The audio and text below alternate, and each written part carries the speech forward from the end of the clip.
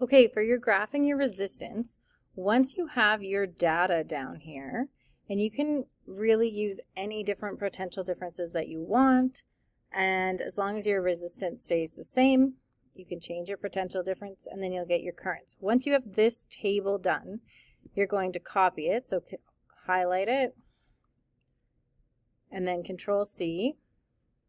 And then you're going to go and open up Google Sheets right here.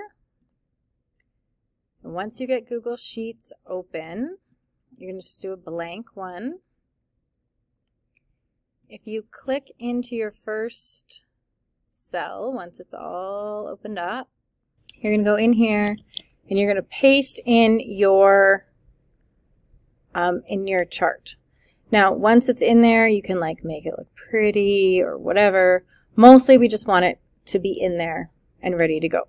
So once that's in there, then you go to, and you shouldn't have to write it in again. So just copy and paste it over. Then you're going to go to Insert, Chart. And then you wait. And this will come up. Now you've got a whole bunch of information kind of behind where I am. I'm just going to move myself. Look at this. I can just move myself over. Um, and I'm going to move my chart over. So this has automatically put in our data and it has current on the y-axis and potential difference on the x-axis. Now if we go back to our sheet here, it says that we want to have our potential difference on the y and our, it doesn't say this right now, but it will, our current on the v. So what we're going to do here is we just need to switch these around. So we're going to go in here and our x-axis, we're going to switch to current. And then our y-axis, we're going to switch to potential difference.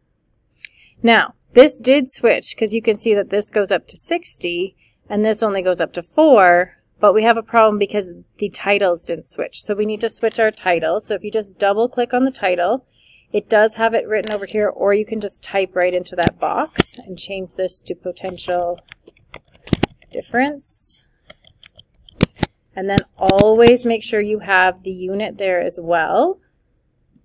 And then you're going to do the bottom one, and I'll just type it in here in amps at the bottom. And then our title is also backwards. So we can just cut this, Control X. Oh, well, I'm saying Control, but it actually depends whether you've got a Mac or not.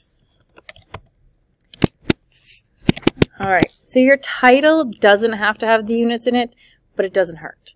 So now you've got this lovely graph here, but what you're going to do is you're going to actually need to add in a trend line. So to do that, you go into your series and you're going to hit trend line. So the trend line will give you this nice, beautiful straight line. And from that, we're going to be able to solve our um, we'll be able to solve our slope. So to solve the slope, we need to do a couple of things. So we're going to need to, first and foremost, you're going to need to do this by hand. And you're not going to love this. You're going to say, why do I have to do it by hand? Because I could obviously do this online, which you can. But the problem with that is that you're going to be expected to do it by hand next year and they're going to want you to be able to do it easily. They grade 10 they vary they will go over how to do a slope but you're expected to already know how to do it. So the main thing that you're going to have is you're going to have that it's rise over run and I will also have a video of what the slope is. And slope is like m in your you've done this in math I think. Y equals mx plus b It's the M. So basically what we're going to do is we're going to pick two points on our line that are far away from each other but aren't data points. And that's really important. So I'm going to pick this one right here where I've got my x, so my point 1. So x1 is going to be 1. And y1 is going to be like 15. Right here, that's about 15. Because this is 10, that's 20, so it's about halfway in between. Looks like about 15 to me. Then I'm going to go up here, and this is 30, and this is 40. Oh, sorry, this is 3, and this is 4. So this would be like three and a half would be about right there. So my x2 is going to be three and a half. And my y2 would be about 55. Does that work for everybody? You see how that would be over here? About 55.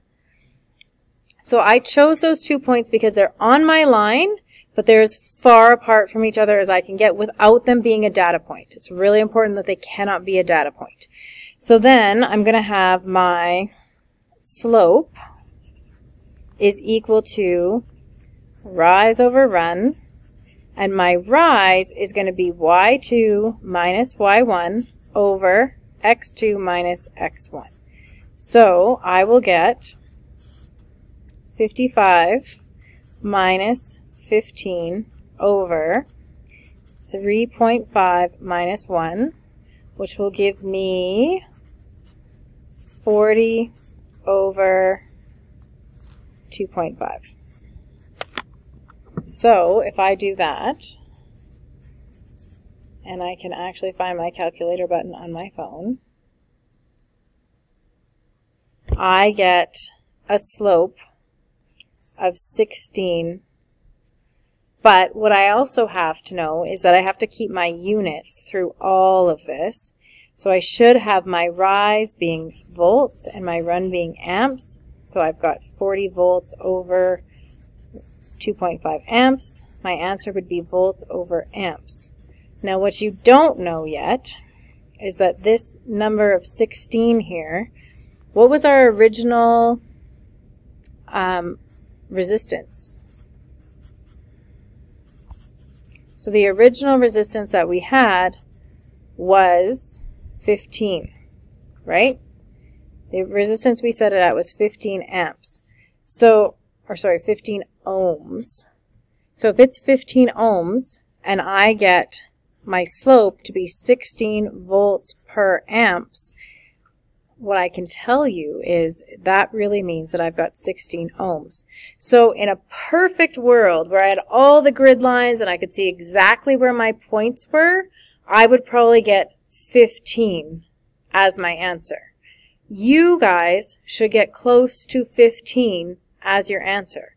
So I'm not saying fudge your numbers. Please don't. Read it off the graph the best you can. Get as close as you can. And that number is going to tell you whether or not you did it correctly. Doing your slope is very important for you to be able to do for your next year. So please, please, please make sure you're trying that out. So when you're handing this in, make sure you are showing me where you're taking your two points from by writing x1, y1, x2, y2, so that I can see where they are on your graph. And what you'll do at the end then is you can either take a screenshot of this area or you can copy your chart and move it over into the other one, but a screenshot might be easier. Okay? Thanks.